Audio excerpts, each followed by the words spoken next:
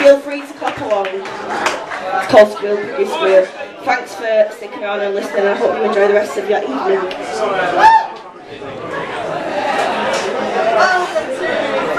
To be honest,